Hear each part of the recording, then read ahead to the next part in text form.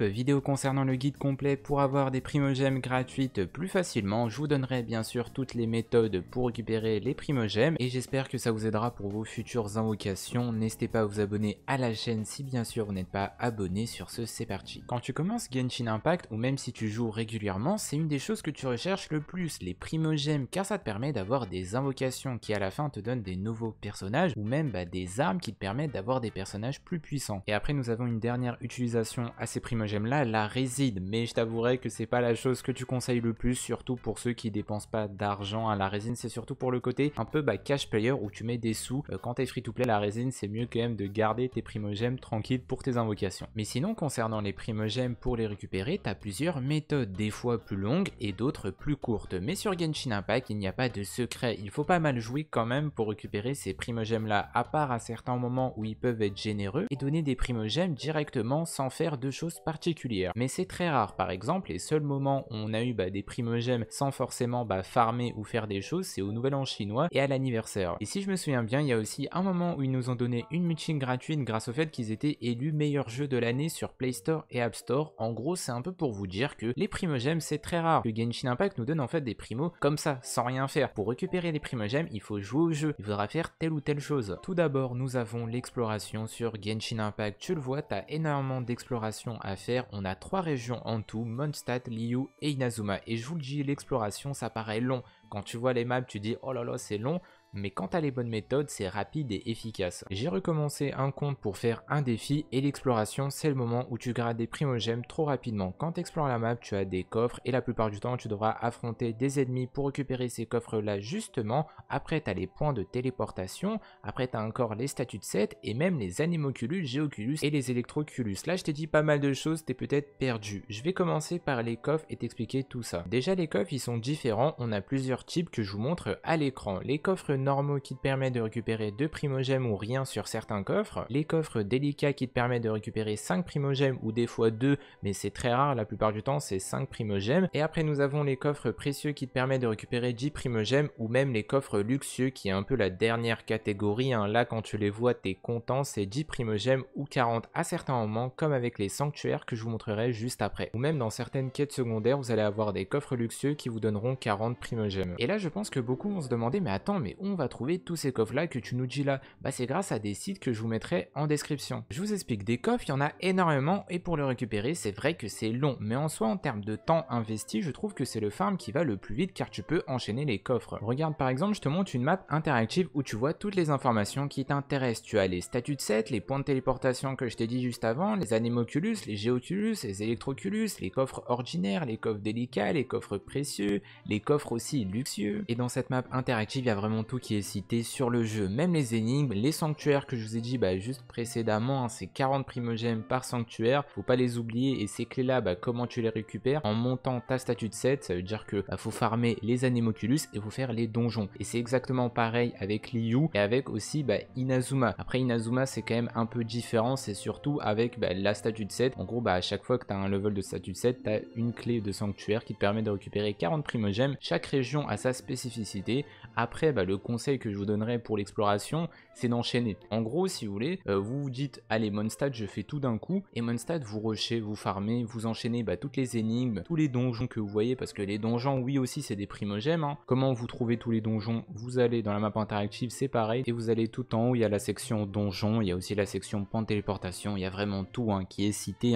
Pourquoi je vous montre pas toutes les statues de set, tous les points de téléportation Parce que c'est trop long. c'est trop long, je veux quand même que la vidéo soit compréhensible, comme ça au moins vous comprenez. Et sur les donjons, il y a des fois bah, des donjons qui sont bloqués. Et malheureusement, c'est comme ça. Le seul conseil que je vous donnerais, ça serait de faire des recherches, vous tapez le nom du donjon, et après, bah, sûrement, vous allez avoir des guides et solutions. Que si je vous, bah, je vous explique à chaque moment il y a des blocages, ça va être compliqué. Moi, j'essaie en fait de vous résumer le plus possible de qu'est-ce que vous devez faire. Et voilà, c'est un peu ça en gros concernant l'exploration. Essayer d'enchaîner et efficacement. Donc pour finir, en termes de conseils, qu'est-ce que je vous dirais bah, pour l'exploration? Déjà, prenez tous les points de téléportation et toutes les statues de set. Comme ça, vous êtes tranquille, vous pouvez vous téléporter euh, n'importe où et c'est bon.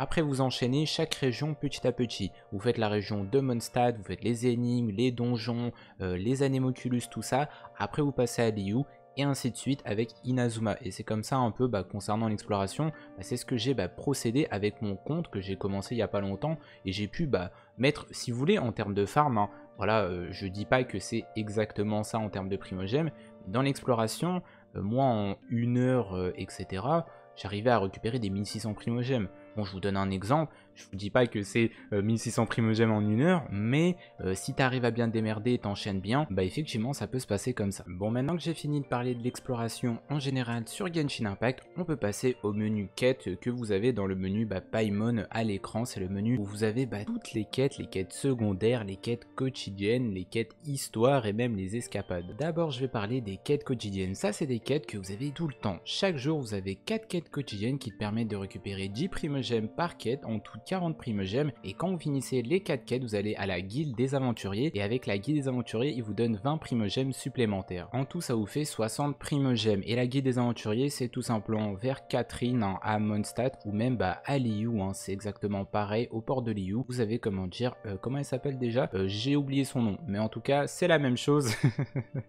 Désolé. Et justement là on parle de la guilde des aventuriers et bah dans cette guilde là vous pouvez aussi récupérer des primogèmes quand vous montez vos levels. Quand on passait de level bah, peut-être 20 à 25 ou même de level 15 bah, à 20, bah, vous avez des primogèmes ou même des invocations. Regardez quand vous allez dans récupérer la récompense de niveau d'aventure, vous voyez il y a des primogèmes, il y a aussi de la résine. Je vais pas vous mentir, c'est pas incroyable en termes de primogèmes. Mais bon, on prend et aussi il y a les quêtes d'élévation à partir d'un certain niveau. Quand on passait au niveau 30 ou même 35 ou 40, il y a toujours une quête bah, pour passer d'un niveau de monde supérieur qui vous donne 200 primogèmes et des pierres d'invocation. Ah, c'est un petit bonus, mais le niveau aussi c'est important en termes de primogèmes, mais c'est pas un truc de fou, c'est pas là où t'as beaucoup de primogèmes. Au moins maintenant, peut-être certains qui ne le savent pas, vous le savez, on continue sur les quêtes, nous avons les quêtes du monde. Les quêtes du monde, c'est un peu les quêtes secondaires que vous trouvez un peu partout sur la map. Il y a aussi une quête bah, pour les événements, mais les événements je vais vous en parler juste après. Mais sinon, concernant bah, les quêtes secondaires, ça se trouve partout.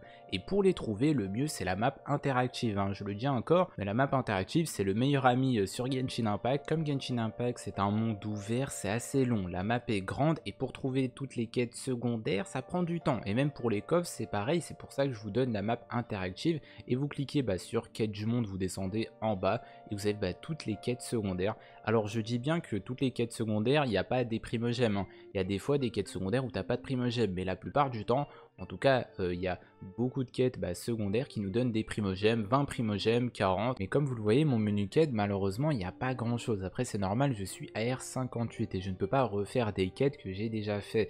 Mais sinon, bah, pour ceux qui veulent savoir, hein, il n'y a pas que les quêtes secondaires, il y a aussi les quêtes principales. Logique, quand vous allez avancer dans l'aventure, quand vous allez combattre le loup, quand vous allez combattre le dragon, tous les boss, Child, Signora, après, je vais pas forcément vous spoiler tout le jeu pour peut-être bah, ceux qui ne connaissent pas, mais c'est juste pour vous dire que les quêtes principales, ça vous donne aussi des gemmes. Après, nous avons les quêtes histoire. Malheureusement encore, euh, vous voyez que j'ai plus rien. Bon, c'est parce que je les ai déjà faites, mais si vous avez bah, peut-être débuté il n'y a pas forcément très longtemps, ou même vous êtes un peu avancé, vous avez sûrement encore des quêtes histoire, Bal, Kokomi, Venchi, Kli, Zongli, Mona, etc. Et dans ces quêtes-là, vous pouvez récupérer un minimum de 60 gemmes par quête histoire. Des fois, en as 65, 70, 75 aux alentours hein, quand il y a des donjons. Et aussi, bah, faites attention, petit conseil, quand on fait des donjons dans les quêtes histoire, quêtes principales, quêtes secondaires, peu importe, essayez de bien explorer. Il y a des coffres qui se cachent, des fois des petits coffres, il y a des coffres délicats ou même des coffres ordinaires, ça vous fait des 5 primogèmes de primogèmes. Mais on prend, hein, faut gratter. Hein.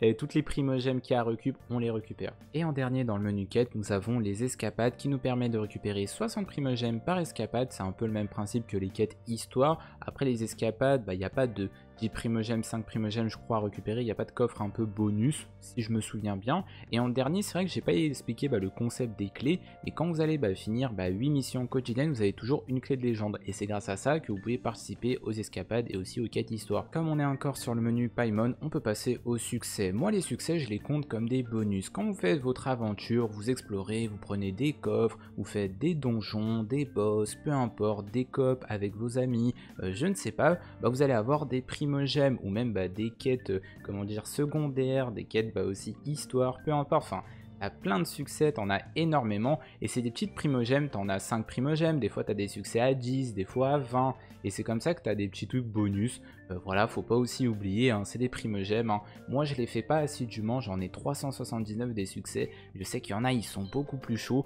Euh, moi je suis un peu en mode OZEF, tu c'est les, succès ils se font euh, bah, comme ça, genre je fais pas exprès de les faire et on prend. Ah oui désolé j'ai complètement oublié de vous en parler, c'est le guide de l'aventurier. Hein. Normalement vous voyez à l'écran sur le menu de Paimon, ça vous donne aussi des primogèmes. Quand vous faites les missions, il y a 9 chapitres. Hein. Vous avez bah, au premier chapitre des 50 primogèmes, après bah, au chapitre 4 vous commencez à avoir 100 primogèmes et en tout ça nous fait bah, du chapitre 4 à 9 ça fait 500 primogèmes et après bah, 200 primogèmes du chapitre 1 à 4. Voilà, ça veut dire 700 primogèmes à récupérer, vous devez faire les missions qui sont mis à l'écran. Bon, je vais pas vous apprendre à lire, hein. je pense que vous savez lire hein, comment faire les missions. On passe maintenant sur les événements. Les événements, ça c'est une ressource que vous avez régulièrement à chaque mise à jour. Parce que oui, hein, pour ceux qui ne connaissent pas Genshin Impact, on a des mises à jour chaque 42 jours. Là actuellement on est sur la mise à jour 2.2 et la prochaine mise à jour c'est la version 2.3. Et durant ces mises à jour, on a des événements. Mais c'est pas des événements qui sont là tout le temps, ils ont des durées limitées. Par exemple là vous voyez l'événement Ombre des Anciens. Le temps restant pour participer à cet événement, c'est 9 jours et 11 heures. Et malheureusement, bah, dès que c'est fini, bah, vous allez plus avoir la possibilité de récupérer ces primogèmes. Et à chaque événement, tu as toujours 420 primogèmes à récupérer, ou même 990 dans un événement principal. Et les événements, c'est quand même une ressource assez importante. Après, le problème des événements, c'est qu'on va dire c'est limité. Euh, déjà que c'est limité en termes de temps, c'est limité sur les joueurs. Hein. Quand tu débutes, c'est compliqué de participer à ces événements-là. Par exemple, bah aussi cet événement-là, voilà, je donne beaucoup d'exemples, mais c'est vrai, euh, cet événement-là, pour participer, il faut être niveau 30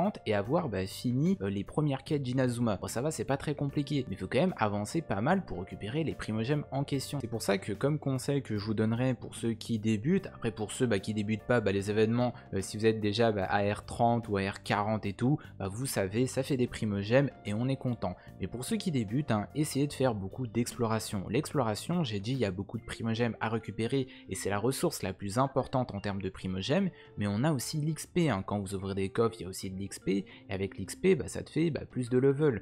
Et avec ça, normalement, le niveau 30, ça devrait passer facilement. Moi, par exemple, sur mon compte, je me souviens, c'est grâce à l'exploration que j'ai monté mon niveau d'aventure assez rapidement. Sinon, concernant les événements, essayez vraiment de ne pas les louper. C'est une ressource assez importante que vous avez régulièrement sur Genshin Impact, qui sont limitées en termes de temps. Hein. Et si vous n'arrivez pas bah, à les faire avant le temps imparti, vous n'avez pas les primogèmes. Là, regardez l'event guerrier du labyrinthe, c'est 1100 primogèmes. Hein. Ça fait beaucoup. Tu vois, et dis-toi, ça c'est à chaque mise à jour, tout le temps, et c'est pour ça qu'il faut pas les rater. Et en même temps, bah, je parle d'événements, on a aussi essayé c'est l'adopter. Hein. À chaque nouveau personnage, tu as toujours 20 primogèmes sur le test. Hein. je sais que c'est nul, euh, honnêtement, c'est pas ouf. Mais euh, faites-le, hein, ça fait 20 primogèmes à chaque fois pour chaque nouveau personnage. Bon, là maintenant, je pense que c'est le bon moment de passer aux abysses. Pour ceux peut-être qui débutent, un petit conseil pour aller au récif de Musc, vous n'êtes pas obligé de voler jusqu'à là. Normalement, au cap de la promesse, il y aura bah, des petites énigmes à débloquer et il y aura bah, une sorte de trou noir, on va dire ça comme ça, euh, juste en haut et vous envolez et vous allez directement bah, normalement euh, dans le récif. Et quand vous êtes au récif, bah, il y a les abysses, voilà les abysses. Ça, c'est un peu le mode qui vous permet de récupérer des primogèmes en endgame, en fin de jeu. Comme les événements, régulièrement vous avez le reset des abysses. Hein. Euh, je vais parler directement du reset des abysses, après je vous parle bah, du reste. Le reset des abysses c'est chaque deux semaines, et vous avez un reset de l'étage 9, 10, 11, 12. Chaque étage tu peux récupérer 150 primogèmes, ça te fait 600 les deux semaines. Mais ça le problème c'est quoi? C'est que c'est un peu pour les, euh, bah, on va dire les joueurs euh, on va dire expérimenter. Voilà, parce que franchement, quand tu débutes l'étage 9, 10, 11, 12, c'est pas possible. c'est pas possible. Par contre, pour ceux qui débutent, vous pouvez pas faire l'étage 9, 10, 11, 12, mais vous pouvez faire les premiers étages, l'étage 1, 2, 3, 4, 5, 6, 7, 8, et ça vous donne 300 primogèmes par étage. Là où ça se complique, c'est surtout 6, 7, 8.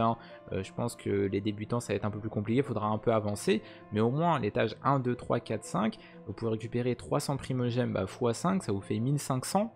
Euh, moi, de mon côté, j'étais à R30. Je crois bien, j'ai pu faire l'étage 5. Voilà. Comme ça, ça vous donne une ordre d'idée et je pense que c'est faisable au niveau 30 hein, à l'étage 5. 1500 primogèmes et si vous faites l'étage 8, ça fait 2400 en tout. 2400. Et ça se reset pas, hein. on sait jamais, hein. ça se reset pas, hein. c'est juste l'étage 9, 10, 11, 12, je le répète. Ça serait vraiment trop beau de reset l'étage 1 à 8 des abysses, tout le monde serait hypé, mais Mio n'est pas assez gentil pour faire ça. Bon là, je vais vous donner une méthode, c'est pas pour des primogèmes, mais c'est pour des invocations, mais tu peux gratter beaucoup, beaucoup d'invocations, je trouve. Après, c'est par rapport à ton nombre de personnages. Quand tu vas monter un personnage à son niveau max, du level 1 à 80, vous n'avez pas besoin de monter à 90. Au level 1 à 20, tu as une pierre de la destinée à récupérer. Du level 40 bah, à 50, tu as une pierre de la destinée. Et du level 70 bah, à 80, tu as encore une pierre. En tout, ça nous fait 3 pierres de la destinée. Si tu as 10 personnages et tu les montes, bah, les 10 level 80, ça te fait 30 invocations. Si tu as 20 personnages, ça te fait 60 invocations. Si tu as 30 personnages, ça te fait 90 invocations. Hein. C'est assez énorme. Après, c'est très long. Hein. Je sais que pour ceux qui débutent, pas forcément là où tu vas justement récupérer vite fait tes pierres, mais il faut quand même le comptabiliser, ça fait beaucoup d'invocations. Là, je t'ai donné un peu les choses les plus importantes pour récupérer des primogèmes, mais il y a pas mal d'autres choses où tu peux gratter des primogèmes par-ci par-là, que je vous dire directement. Déjà, même si c'est pas des primogèmes, pour moi, ça compte à peu près comme des primogèmes, c'est des invocations, parce que logiquement, hein, si tu veux des primogèmes, c'est pour invoquer. T'as l'arbre permagelé. Quand tu vas explorer le monde au dragon, t'auras des pierres de la destinée à récupérer et des pierres de la fatalité. Pour monter le level de l'arbre permagelé, vous devez récupérer des agates pourpres. Hein. Pour les récupérer et pour les trouver, c'est dans la carte interactive. Hein. C'est pareil, hein, de toute façon, la carte interactive, vous allez en avoir besoin si vous voulez un peu vous simplifier la vie. Après, nous avons un second arbre qui est disponible à Inazuma. C'est l'arbre qui se trouve à Narukami, c'est vers. Euh, vous cliquez sur l'arbre, le cerisier sacré, et vous avez bah, plusieurs récompenses. Là, il y a beaucoup plus d'invocations. En tout, si vous voulez savoir, de level 1 à 50, vous avez 30 invocations à récupérer. Et aussi, pour ceux qui veulent savoir l'emplacement exactement de l'arbre divin de Sakura, l'arbre sacré, c'est comme vous préférez, c'est au sanctuaire de Narukami, voilà, à Inazuma. Après, on enchaîne directement pour les primogèmes, on gratte, on gratte, on a la sérénité hier. Ça, par contre, vous devez être minimum niveau d'aventure 30 pour avoir débloqué ça, et faut finir, je crois, euh, le combat de Child. Mais quand vous débloquez la sérénité hier, hein, vous allez avoir le gadget hein, que je vais placer, et je vous montrer un peu qu'est-ce que vous pouvez gratter. Euh, c'est un peu, euh, si vous voulez, Animal Crossing. Vous allez bah, crafter justement bah, des immeubles, enfin des immeubles, vous m'avez compris, ça sera des items, des meubles, euh, des tapis, euh, tout ce que tu veux. Même tu peux avoir des chiens. Euh, oui, ce n'est pas une blague, il y a des chiens, des chats, tout ce que tu veux, des ragondins. non, je rigole. Mais grâce en tout cas à ces meubles, à toutes ces décorations que tu vas faire, tu auras un niveau de confiance. Et avec ce niveau de confiance là, tu auras des primogèmes à récupérer. Quand tu passes, bah, chaque level c'est 60 primogèmes. Ça fait 600 primogèmes en tout et aussi tu as des décorations par rapport aux personnages. Et en gros, si tu veux, tu pourras récupérer 20 primogèmes pour chaque personnage. Tu auras des sets, des sets que tu devras faire, tu devras bah, crafter, construire bah, justement les meubles qui sont nécessaires pour compléter ce set là, et tu as 20 primogèmes par personnage. Si tu as 10 personnages, ça fait 200 primogèmes. Si tu as 30 personnages, ça te fait 600 primogèmes à gratter. Moi, je t'avoue que j'ai un peu la flemme de farmer ces primogèmes, mais si vous êtes en S de primogèmes, oubliez pas ça, hein, c'est important euh, pour les on gratte au mieux.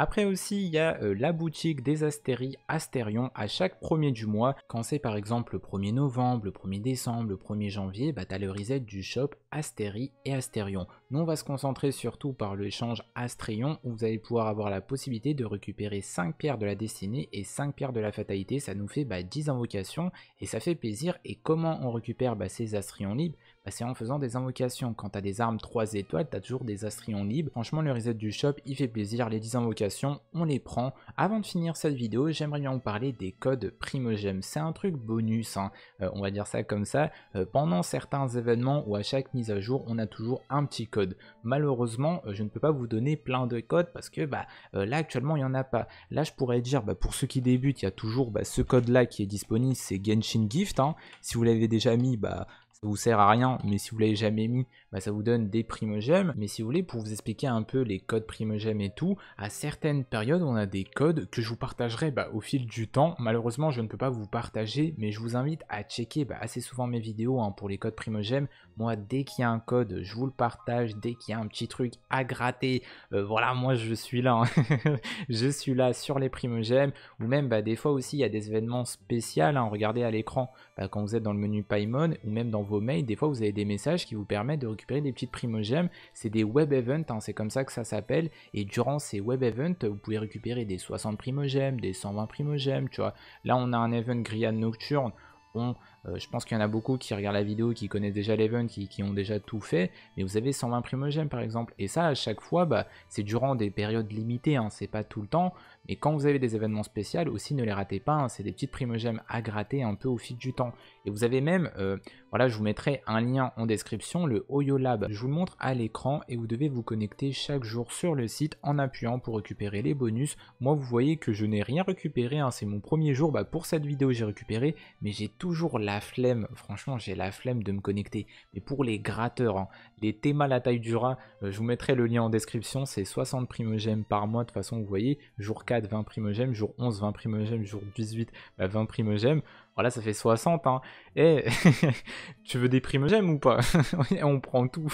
Et aussi, petite information à ajouter pour cette vidéo, à chaque début d'une mise à jour, on a toujours des primogèmes pour les maintenances. C'est toujours 300 primogèmes au minimum. Mais des fois, on a 600 primogèmes.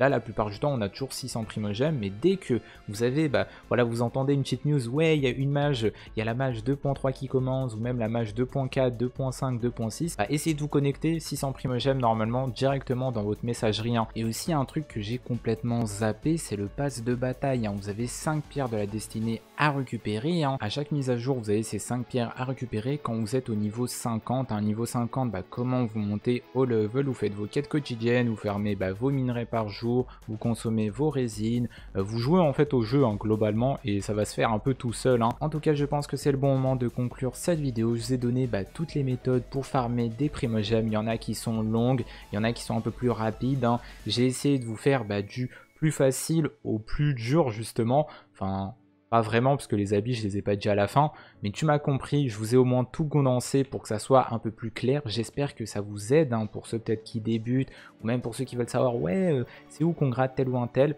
Voilà vous avez toutes les méthodes, je ne peux rien vous dire à part peut-être suivre les vidéos. Hein. Moi je fais assez souvent des vidéos primogèmes dès qu'il y a des news, primogème, euh, comment dire, code primo, événements, date et tout, je vous le partage. Alors n'hésitez pas à suivre la chaîne. Bonne soirée à vous, bonne journée, bon farm à vous, je vous souhaite bonne chance. Et aussi bah, bonne chance pour vos futures invocations. Bah, si sûrement bah, vous regardez la vidéo, c'est que peut-être vous en avez besoin des primogèmes. Alors bonne chance, allez, ciao ciao